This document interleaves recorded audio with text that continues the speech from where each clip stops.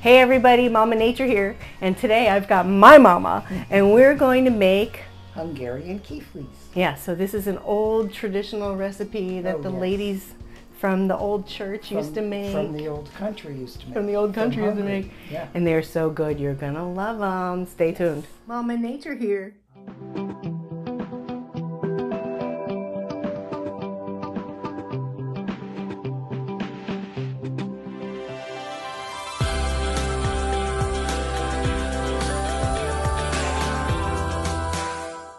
My grandmother's recipe, and she was born and raised in Hungary. First, we're going to put half a pound of butter. And Get rid of that. And we're going to put half a pound of cream cheese.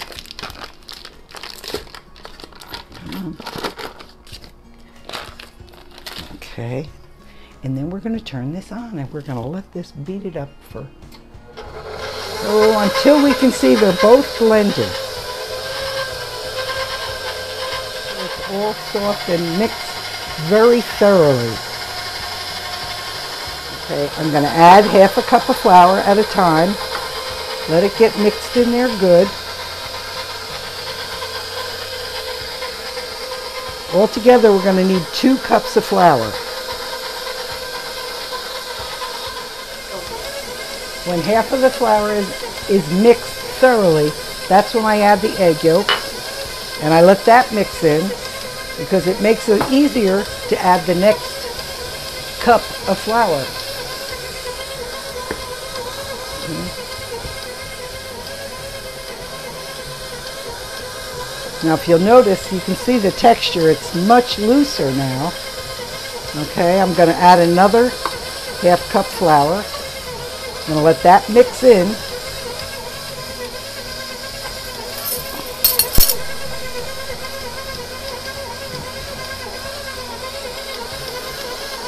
Okay, and then I'm going to add a tablespoon of vegetable oil or olive oil.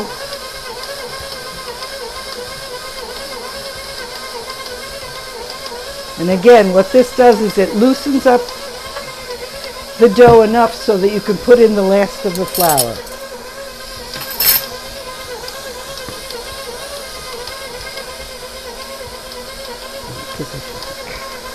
Okay, and here's the last of the flour. And I just dump it in, let the mixer do all the work for me.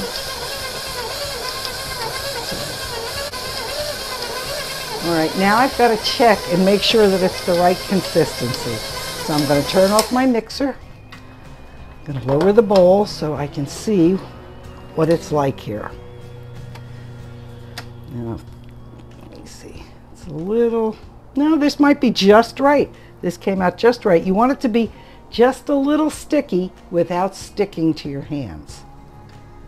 And like I said, you want the dough to be sticky, but it didn't stick to my hands.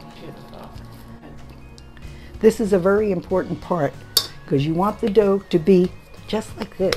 If it's too sticky, you're going to have to add a little bit more flour. And sometimes, depending where you live in the country, your temperature will dictate that. Okay? But as you can see, it's not sticking to my hands, but it is sticky. Yesterday we prepared the, uh, the dough for Hungarian kiflis. Today we'll tell you what they are and finish making them. There you go. Beautiful. You heard that? We're going to use a chopper, but anything that you have that will grind up the nuts will work. I'm just going to put all the nuts in here. It's half pound of nuts. To a half a cup of sugar, and we're going to use just enough milk to make it the right consistency.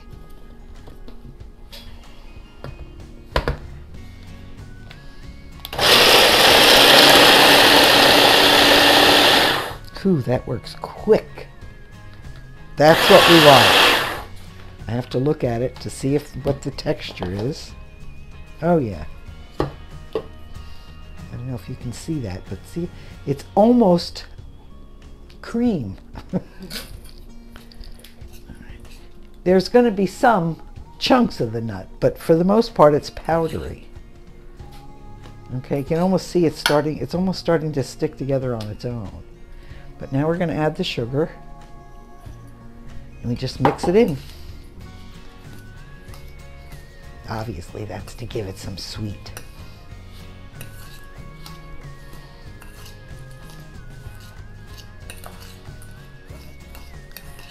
Okay, well once you have the nuts and the sugar mixed completely, then you want to make the texture in such a way that it will almost hold together.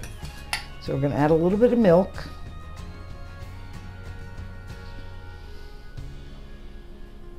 And I stress do a little at a time, as if it gets too watered down, it's going to be terrible to work with. Was good. Okay, now I'm going to take a spoon just to check and see what the consistency is. Is what you're going to do is you're going to put this into the cookie dough and you want it to, to stick together enough to be able to use it. Okay, I've taken one of the doughs out of the out of the refrigerator and uh, I'm just going to work with it a little bit to warm it up a little because right now it's really hard. You might as well take the other doughs out.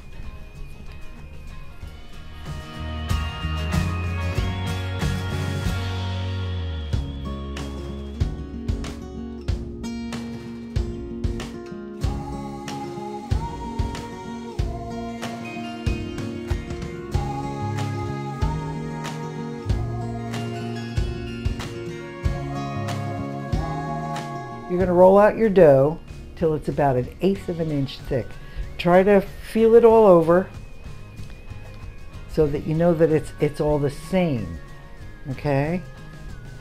If you have any problems, just roll a little bit. Just don't be too heavy with it. That's all. Okay. Now we're ready for the next step. And Bonnie's going to take over for that. Okay. So I'm the cutter. Yes. You've always done it better than me. I'm not sure exactly why that is. but hers seemed to come out very uniform, just like my mama's. Oh my gosh, no pressure. I hope I can do it. now you can see we're just using a regular pizza cutter. They actually make tools to do exactly what she's doing, but a pizza cutter works just fine. Oh man. I'm already making a mess of it. Shoot! Oh. But see, this is part of the fun. yes, yes, this is. Uh, yeah, that's still gonna be okay, right? Yeah. oh, we'll make it work. We always make it work. Okay. You know. Like that. Mm-hmm. All right, so what I've pretty much done is I made a bunch of diamonds, but they're not exactly. Well, you're going to have to slice across and make them diamonds. And now I'm going to go from corner to corner. If you want, you can start. I'm going to get a cookie sheet. I think this one will be fine. Down here, so we'll, we'll be able to work on it. There you go. And you want either a silicone mat or parchment paper because you don't want to worry about cleaning up your pans later. So you see I'm going corner to corner so that we wind up with triangles because these are going to be, we're going to roll the fillings up in the triangles. And you saw us make the nuts. And we're going to also be making these with some blueberry preserves. Preserves. Yeah, these look pretty good. All right, we're going to start rolling walnut cookies. There we go. All right. I find that if I keep my fingers floured, I don't wind up making a big mess of myself. Mm. And you can see they're not all the same. We're just gonna do the best we can do. A little bit of the nut filling on the spoon. Tuck it into the dough. And the, the uh, dough is soft enough now that you can really work with it. You can stretch it if you need to. I mean, obviously you have to be careful, but you can pretty much move it around however you need it. There you go. And these can be put right on top of each other on the pan. They're not yeah. gonna grow or anything. The pastry, however, will puff and it'll be a nice golden brown. And, uh, oh, just perfection. Perfection.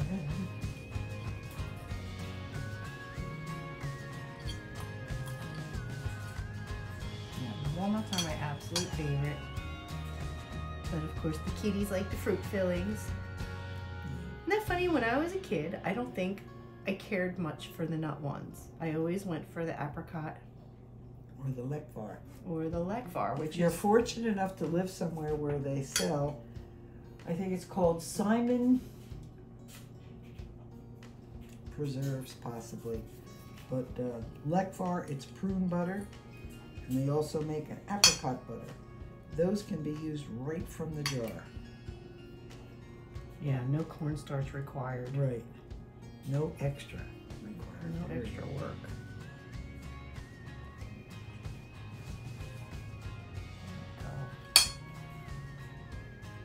So there's going to be little bitties and great bigs. but that's the beauty of homemade. Yeah. Yeah. And the little bitties, honest to goodness, they're the testers. When they come out of the oven, these are the ones that we just grab and pop right into our mouths. They all disappear so fast. It- that's true. They're pretty little packages. And somehow, don't ask me how, but my mother and my grandmother were able to make these so they were all the same size. I've never quite figured that one out. And it doesn't make any difference. But they were- probably had their own mothers breathing over their shoulders saying, hey, you gotta get it right. well, that's possible. Perfection. It's possible.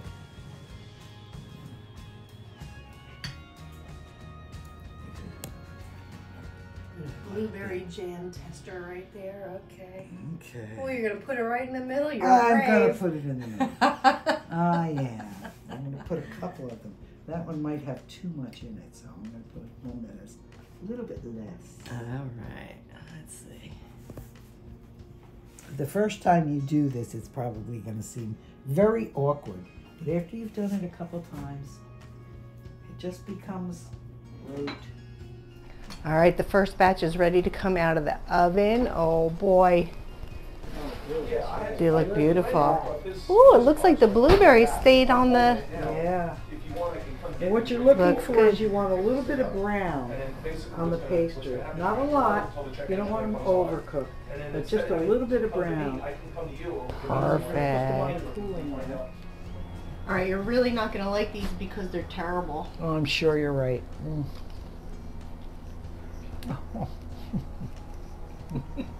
They're very good. And they still need one more thing. Final touch to these little masterpieces is just a touch of powdered sugar.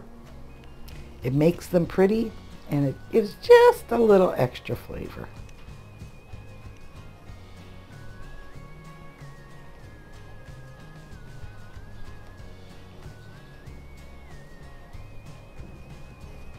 And don't they look pretty?